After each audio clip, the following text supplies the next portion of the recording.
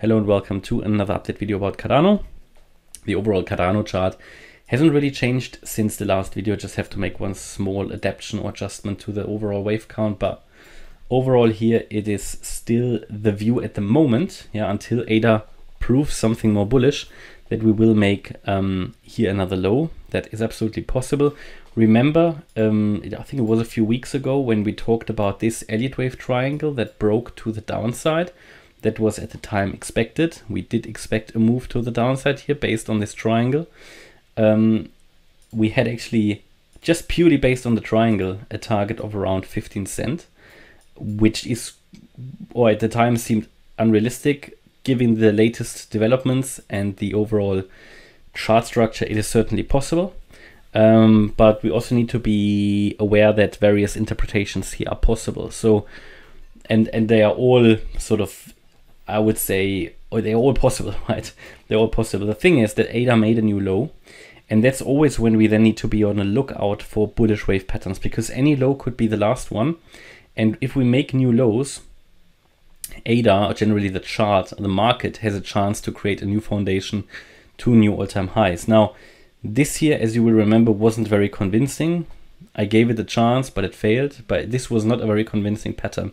We always try to find patterns which look really good um, here, this move up does look corrective at the moment, so it's not really a strong evidence yet that we have bottomed.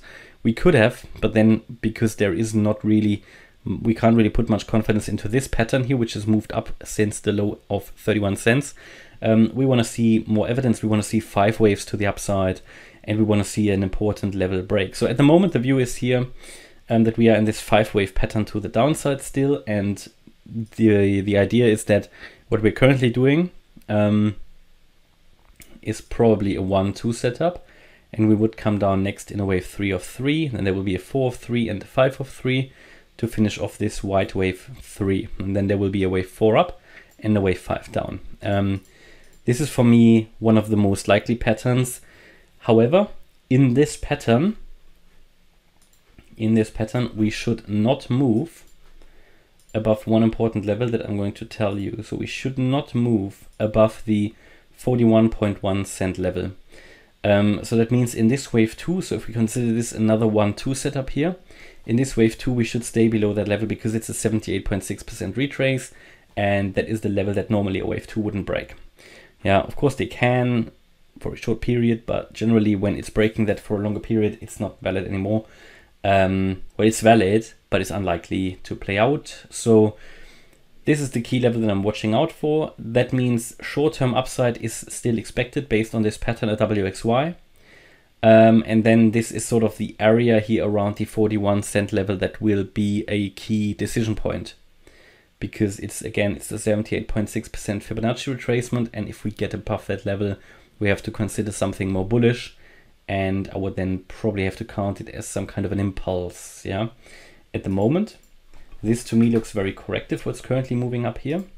But the move down, oops, but the move down looks also corrective. So what does that leave us? That leaves us um, a possible larger corrective pattern that's playing out here in a WXY scenario. So that is exactly what we talked about in the previous video, but um, I just had to move the wave X down that is the, um, well, that's possible because this move down still has a corrective, let's say, appearance. Yeah.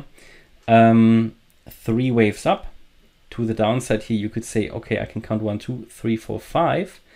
The problem though is that we have a lot of overlaps here and that makes the corrective, all, of these waves have overlapped and that creates this, this, this sort of corrective appearance and that makes it quite likely to see another push in the wave Y to the upside. And again, this would be constrained by 41 cents. And if we get above that, we have to consider something more bullish.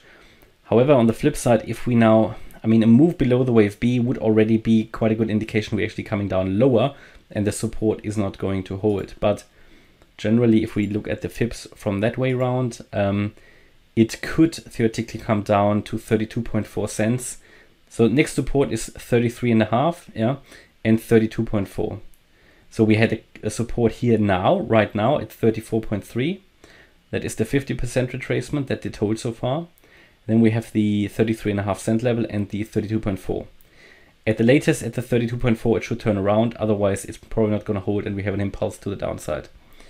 Um, this wave Y, as I said, target 41 cents, and then we have an idea of where it's heading.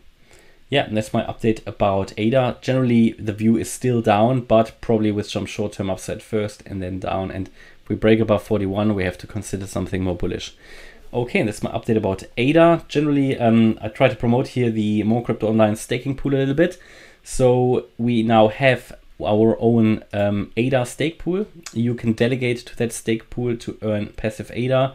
At the moment, it's not generating rewards yet. It was only launched yesterday, so it needs typically a few weeks to, to get enough ADA delegated so it generates rewards if you're interested and well, if you want to support more crypto online, you can delegate to that pool. Um, in the video description, there are two videos on how to delegate ADA to um, a staking pool and also how to delegate ADA specifically to the MCO pool. As I said, no rewards yet until we get enough ADA in. That will typically be the case after a few weeks, I would say. Um, we've nearly we're nearly there at 100k. Maybe we already have uh, the 100,000 ADA delegated tomorrow. Um, let's see, but it's going up every day now. So yeah, it's very exciting. Looking forward to uh, supporting the ADA or the Cardano network. And if you want to support the MCO, generally the MCO channel and the MCO stake pool, take a look at the um, take a look at the staking pool and the videos in the description.